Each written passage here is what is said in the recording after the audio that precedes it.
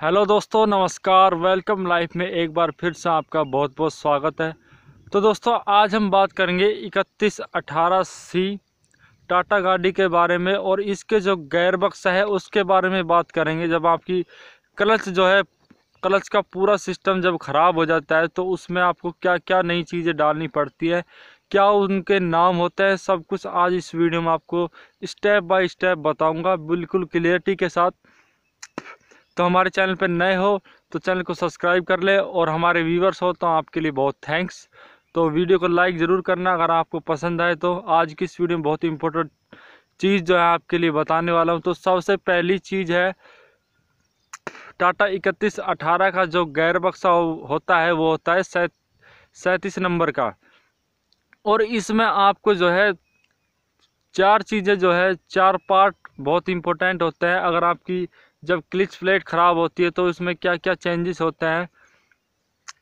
तो सबसे पहली जो क्लिच प्लेट होती है, वो इस तरीके की होती है। टाटा इकतीस अठारह में आप देख सकते हैं।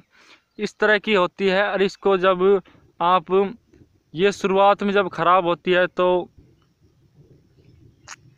तो ये आपको जो है दस या पंद्रह दिन पहले ही वार्निंग दे देगी, क्योंकि आपकी क्लिच इस प्रकार ख़राब उठेगी नहीं गाड़ी, नहीं एक जो फुल आपका पिकअप होता है वो गाड़ी में नहीं हो पाता है। उसके बाद आपकी गाड़ी जो है दबने लग जाती है। क्लिच प्लेट और प्रेशर प्लेट और जो होता है फ्लाईवर कड़ा और एक होता है हमारा बैरिंग ये चार चीज़ें होती है इसमें। सबसे नंबर पे आती है क्लिच प्लेट, फिर उसके बाद जो होती है प्रेशर प्लेट। ये भी आपको जो है इसी के साथ लगानी पड़ती है जब भी आप मिस्त्री के पास जाओगे। और फिर थर्ड नंबर पे होती है फ्लाईवर कड़ा और एक बैरिंग ये चार चीज़ें बहुत महत्वपूर्ण होती है। आपकी गाड़ी में ये पूरा सेट डाला जाता है जब आपकी गाड़ी का जो है क्लच प्लेट ख़राब हो जाता है।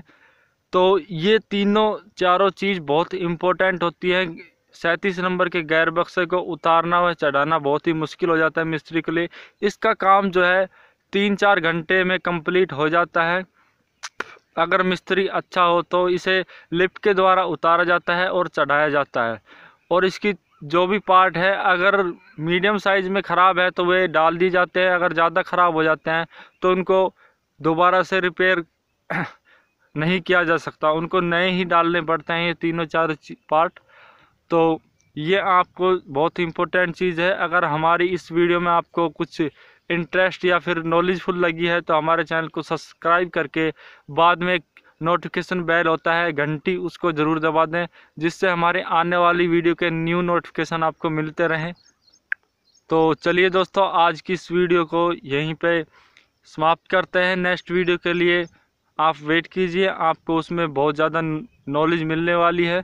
तो तब तक के लिए जय हिंद वंदे मातरम मिलते हैं नेक्स्ट वीडियो में।